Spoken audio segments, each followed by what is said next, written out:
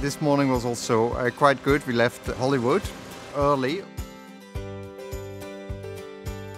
Temperatures building up, but uh, a lot of traffic, a lot of challenging lane keeping. Uh, car performed perfectly better than, than we could have expected.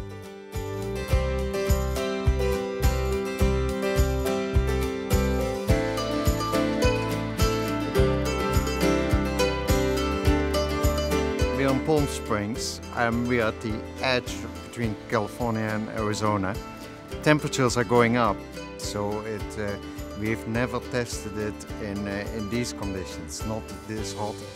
The rest of our day is all going to be desert. Today will be a good day.